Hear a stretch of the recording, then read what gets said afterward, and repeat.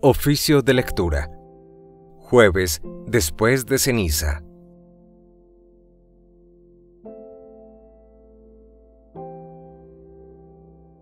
Dios mío, ven en mi auxilio. Señor, date prisa en socorrerme.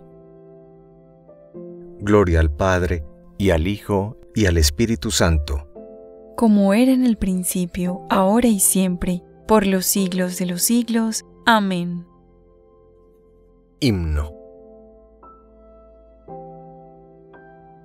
Si me desechas tú, Padre amoroso, ¿a quién acudiré que me reciba? Tú al pecador dijiste generoso, que no quieres su muerte, oh Dios piadoso, sino que llore y se convierta y viva. Cumple en mí la palabra que me has dado y escucha el ansia de mi afán profundo. No te acuerdes, Señor, de mi pecado. Piensa tan solo que en la cruz clavado eres, Dios mío, el Redentor del mundo. Amén. Salmodia. No fue su brazo el que les dio la victoria, sino tu diestra y la luz de tu rostro. Salmo 43, primera parte. Oh Dios, nuestros oídos lo oyeron, nuestros padres nos lo han contado, la obra que realizaste en sus días, en los años remotos. Tú mismo con tu mano desposeíste a los gentiles y los plantaste a ellos, trituraste a las naciones y los hiciste crecer a ellos. Porque no fue su espada la que ocupó la tierra, ni su brazo el que les dio la victoria, sino tu diestra y tu brazo y la luz de tu rostro, porque tú los amabas. Mi rey y mi Dios eres tú, que das la victoria a Jacob. Con tu auxilio embestimos al enemigo, en tu nombre pisoteamos al agresor. Pues yo no confío en mi arco, ni mi espada me da la victoria. Tú nos das la victoria sobre el enemigo y derrotas a nuestros adversarios. Dios ha sido siempre nuestro orgullo, y siempre damos gracias a tu nombre. Gloria al Padre, y al Hijo, y al Espíritu Santo. Como era en el principio, ahora y siempre, por los siglos de los siglos. Amén. No fue su brazo el que les dio la victoria, sino tu diestra y la luz de tu rostro. No apartará el Señor su rostro de vosotros si os convertís a Él.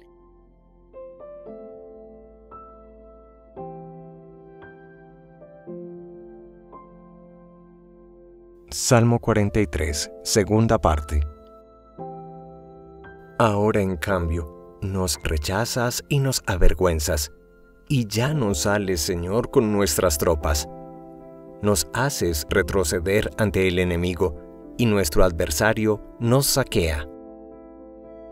Nos entregas como ovejas a la matanza, y nos has dispersado por las naciones vendes a tu pueblo por nada, no lo tasas muy alto. Nos haces el escarnio de nuestros vecinos, irrisión y burla de los que nos rodean. Nos has hecho el refrán de los gentiles, nos hacen muecas las naciones.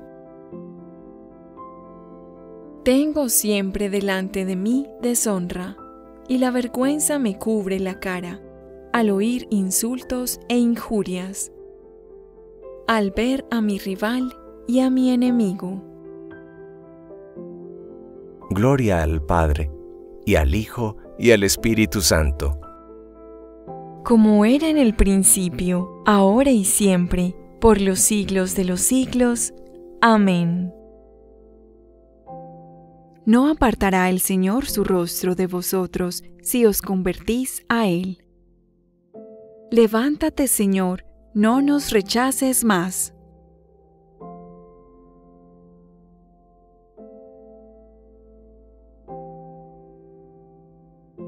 Salmo 43, tercera parte.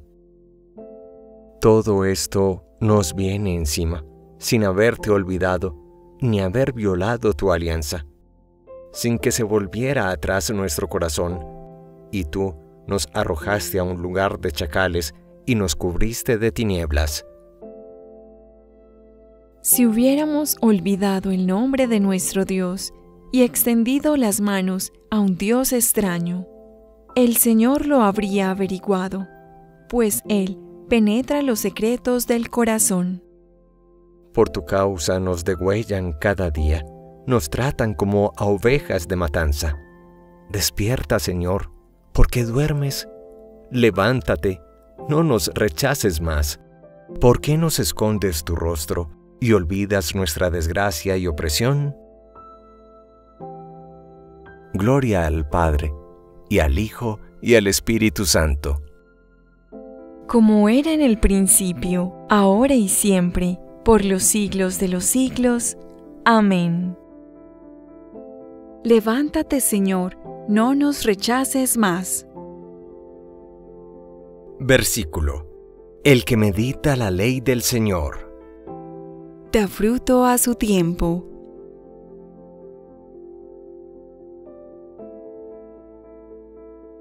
Primera lectura. Comienza el libro del Deuteronomio capítulo 1, versículo 1 y 6 al 18. Estas son las palabras que dijo Moisés a todo Israel al otro lado del Jordán, en el desierto, en la Arabá, frente a Sof, entre Farán y Tofel, Acerot y Disaab. El Señor nuestro Dios nos dijo en el monte Horeb, Basta ya de venir en este monte, poneos en camino, id a las montañas de los amorreos, a las poblaciones vecinas de la estepa de la Arabá, de la montaña, de la tierra baja, del Negev y de la costa, a Canaán y al Líbano, hasta el gran río, el Éufrates. Mirad, os he puesto delante la tierra que yo el Señor prometí dar a vuestros padres, a Abraham, Isaac y Jacob. Entonces yo os dije, yo solo no puedo con vosotros. El Señor vuestro Dios os ha multiplicado, y sois tan numerosos como las estrellas del cielo. Que el Señor Dios de vuestros padres continúe y os haga mil veces más numerosos, y os siga bendiciendo como dijo. Pero, ¿cómo voy a poder yo solo con todas vuestras cargas, vuestro peso y vuestros litigios? Proponed a algunos de cada tribu, a hombres sabios y de experiencia, y yo los nombraré jefes vuestros. Y me contestasteis, Está bien lo que nos propones. Yo elegí como jefes de vuestras tribus a hombres sabios y de experiencia, y los nombré jefes vuestros, jefes de mil, de cincuenta y de diez, magistrados para cada tribu. Entonces di a vuestros jefes estas normas. Vosotros escucharéis los pleitos de vuestros hermanos y juzgaréis con justicia las causas que surjan entre un hombre con su hermano o un extranjero. No seáis parciales en la sentencia. Oíd por igual al pequeño y al grande. No os dejéis amedrentar por nadie, que la sentencia es de Dios, y la causa que os resulte demasiado difícil, pasádmela y yo entenderé en ella. Entonces os mandé todo lo que debíais cumplir.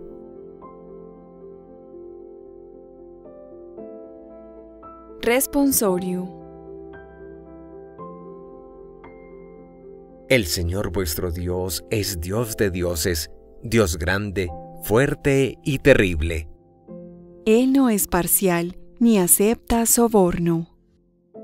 Oíd por igual al pequeño y al grande, no os dejéis amedrentar por nadie, que la sentencia es de Dios. Él no es parcial ni acepta soborno. Segunda lectura de los sermones de San León Magno, Papa. En todo tiempo, amados hermanos, la misericordia del Señor llena la tierra, y todo fiel haya en la misma naturaleza motivo de adoración a Dios, ya que el cielo y la tierra, el mar y todo lo que hay en ellos, nos hablan de la bondad y omnipotencia del que los ha creado y la admirable belleza de los elementos puestos a nuestro servicio exige de la criatura racional el justo tributo de la acción de gracias. Pero al volver de nuevo estos días, marcados de manera especial por los misterios de nuestra redención, y que preceden inmediatamente a la celebración de la Pascua, se nos intima una mayor diligencia en prepararnos con la purificación de nuestro espíritu. En efecto, es propio de la fiesta de Pascua que toda la iglesia se regocije por el perdón de sus pecados, y ello no solo en los que renacerán por el sagrado bautismo, sino también en los que han sido ya anteriormente agregados a la porción de los hijos adoptivos. Pues si bien lo que nos hace hombres nuevos es principalmente el baño de regeneración. Sin embargo, como nos es también necesaria a todos la cotidiana renovación contra la herrumbre de nuestra condición mortal, y nadie hay que no tenga el deber de afanarse continuamente por una mayor perfección. Es necesario un esfuerzo por parte de todos para que el día de nuestra redención nos halle a todos renovados. Por tanto, amados hermanos, lo que cada cristiano ha de hacer en todo tiempo, ahora debemos hacerlo con más intensidad y entrega, para que así la institución apostólica de esta cuarentena de días logre su objetivo mediante nuestro ayuno, el cual ha de consistir mucho más en la privación de nuestros vicios que en la de los alimentos. Junto al razonable y santo ayuno, nada más provechoso que la limosna, denominación que incluye una extensa gama de obras de misericordia, de modo que todos los fieles son capaces de practicarla, por diversas que sean sus posibilidades. En efecto, con relación al amor que debemos a Dios y a los hombres, Siempre está en nuestras manos la buena voluntad que ningún obstáculo puede impedir. Los ángeles dijeron, Gloria a Dios en el cielo y en la tierra paz a los hombres de buena voluntad. Con ello nos enseñaron que todo aquel que por amor se compadece de cualquier miseria ajena se enriquece, no solo con la virtud de su buena voluntad, sino también con el don de la paz. Las obras de misericordia son variadísimas, y así todos los cristianos que lo son de verdad, tanto si son ricos como si son pobres, tienen ocasión de practicarlas a la medida de sus posibilidades, y aunque no todos puedan ser iguales en la cantidad de lo que dan, todos pueden serlo en su buena disposición.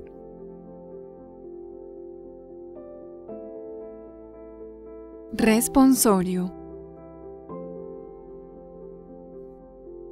En tiempo del ayuno, nos ha abierto las puertas del paraíso. Recibámoslo con buena voluntad y seamos constantes en la oración. Para que en el día de la resurrección nos gloriemos con el Señor. Acreditémonos siempre en todo como verdaderos servidores de Dios para que en el día de la resurrección nos gloriemos con el Señor. Oración final. Tu gracia, Señor, inspire nuestras acciones, las sostenga y acompañe, para que todo nuestro trabajo cuaresmal brote de ti como una fuente, y a ti tienda como a su fin. por nuestro Señor Jesucristo, tu Hijo, que vive y reina contigo, en la unidad del Espíritu Santo y es Dios, por los siglos de los siglos. Amén.